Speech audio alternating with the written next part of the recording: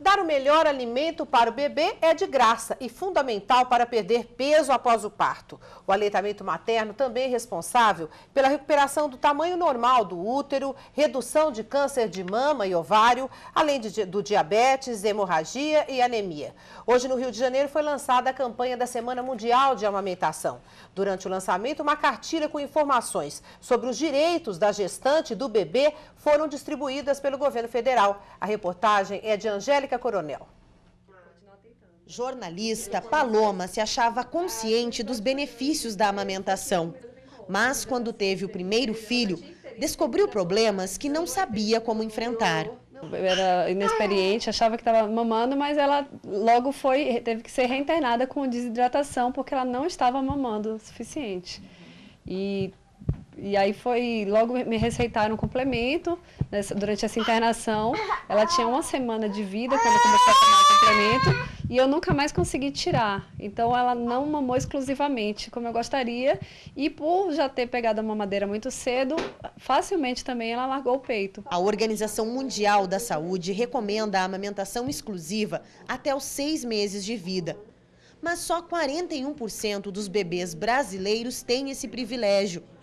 A maioria mama só no peito até no máximo dois meses.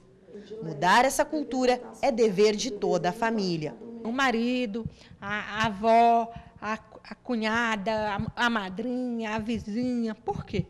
Porque muitas vezes, quando a mãe se passa por algum problema da amamentação, sempre são essas pessoas que estão em torno da mãe que vão dar apoio para ela. E se essas pessoas tiverem a informação correta de como ajudar, elas vão poder ser uma salvadora de vida, porque essa vida vai ser salva, porque essa mãe vai continuar amamentando. Mas e quando por algum motivo a mãe não consegue amamentar? Acontece, pode ser o estresse de um parto prematuro, uma doença grave como a eclâmpsia, simplesmente porque o bebê ainda não aprendeu a mamar. Nessas horas, as mães vão precisar de um lugar como esse. É o banco de leite materno. Aqui, as mães aprendem a forma correta de dar de mamar ao bebê. O banco também recebe doações de leite para ajudar os bebês prematuros. Primeiramente, a gente avalia a mama para ver se está produzindo leite ou não. Aí posiciona o neném, coloca aqui o pescocinho na curva do braço, o antebraço vem aqui na coluna para apoiar a coluna do bebê, a mão aqui no bumbum para ficar bem firme. A mãozinha fica aqui para trás e barriguinha com barriguinha, né? Aí a gente vai colocar o peito na boca do neném, tá vendo? Com cuidado para não deixar pegar só o pico. O país tem 200 bancos de leite. A rede pública do Distrito Federal consegue atender a demanda. Mas, apesar da boa vontade das mães, cerca de 20% do leite doado não pode ser usado. Isso porque os testes, que serviriam só para medir a acidez e a gordura, acabam encontrando também impurezas.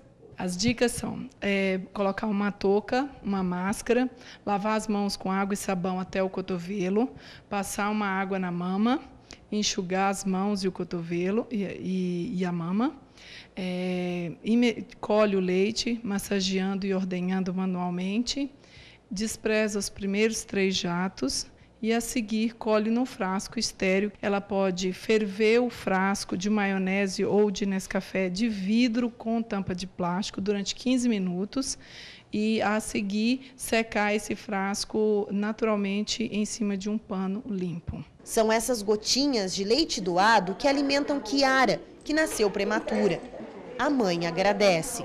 Em três em três horas está chegando o leitinho dela, dou, que ela toma todas, às vezes não se contenta só com o que vem, mas aí aumentaram o leitinho dela, é o que está satisfazendo ela. Graças a Deus tem o banco de leite para fazer essa doação. No lançamento da campanha de amamentação hoje no Rio de Janeiro, foi lançada uma cartilha para esclarecer os direitos das mães e dos bebês. A ideia é que todas as gestantes do Brasil, as famílias das gestantes, saibam dos direitos que têm ao longo desde o pré-natal, passando pela assistência ao parto, desenvolvimento e crescimento da criança até os dois anos de idade.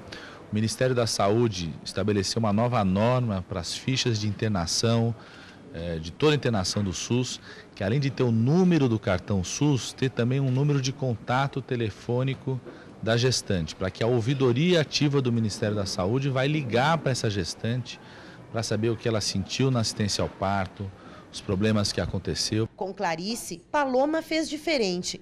Foi até um banco de leite, se informou e agora curte a amamentação. Alguém já disse que é amor em forma líquida e eu concordo. E agora a Clarice fez um ano e continua mamando.